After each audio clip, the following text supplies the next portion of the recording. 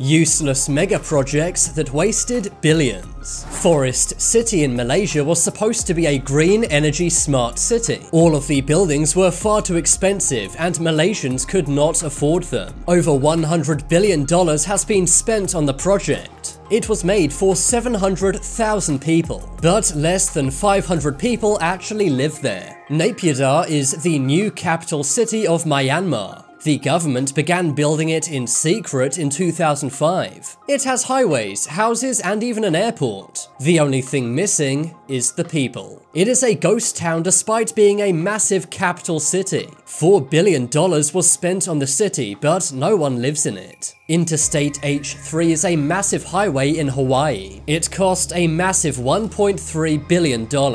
Almost no one drives on it, and many natives believe it's cursed.